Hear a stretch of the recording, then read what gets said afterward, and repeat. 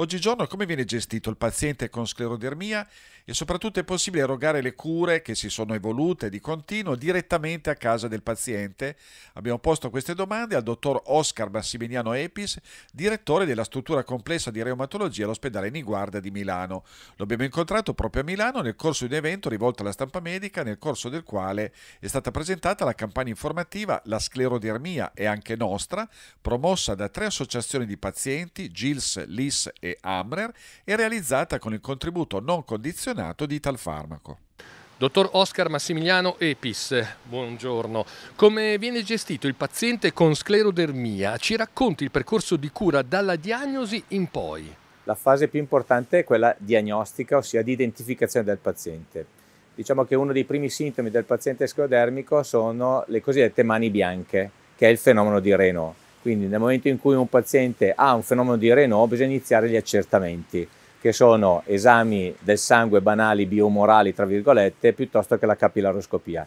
Sarebbe estremamente indicato che in questa fase il paziente venisse già indirizzato presso un centro di reumatologia al fine di effettuare un percorso diagnostico completo.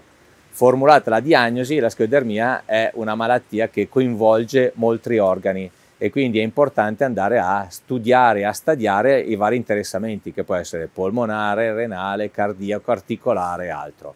È ovvio che a questo punto, una volta che è stata formulata la diagnosi corretta di, di eh, sclerodermica o di sclerodermia e iniziato un trattamento terapeutico, il paziente deve essere seguito con un follow-up stretto. Cosa vuol dire? Che se c'è un interessamento particolarmente importante a livello vascolare, quindi il fenomeno del Renault è la caratteristica predominante, magari anche accompagnato da ulcere, deve effettuare delle terapie con dei vasodilatatori che ad oggi vengono ancora somministrate prevalentemente in ospedale, il coinvolgimento di, alghi, di altri organi prevedono altri percorsi fino all'utilizzo di immunosoppressori e di altri farmaci. Ecco, è possibile erogare le cure direttamente a casa del paziente? Cosa serve? E di conseguenza i nuovi dispositivi indossabili per l'erogazione dei farmaci rappresentano un passo in avanti? Potenzialmente sì, nel senso che i vasodilatatori, che sono farmaci che il paziente deve, al quale, che vengono somministrati per 6-8 ore al paziente, oggi vengono somministrati in ospedale. Ho detto potenzialmente sì perché in teoria potremmo somministrare in particolari tipi di pazienti questi farmaci anche a domicilio.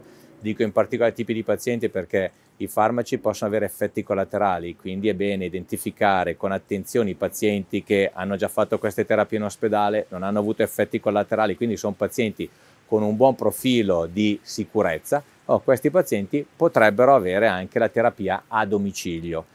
L'utilizzo della telemedicina, del telemonitoraggio che oggi va molto di moda e che noi appoggiamo in modo pesante, eh, ci aiuta ulteriormente nel garantire la sicurezza al paziente. Perché se da remoto al centro di riferimento arriva l'indicazione che il paziente che sta facendo quella terapia a casa ha un calo pressorio, un'alterata frequenza, ecco questo permette un intervento immediato del clinico e quindi abbiamo non solo la comodità, che è sicuramente importante, ma anche la sicurezza della terapia fatta a domicilio che deve essere la nostra priorità, perché prima di tutto dobbiamo garantire la sicurezza al paziente.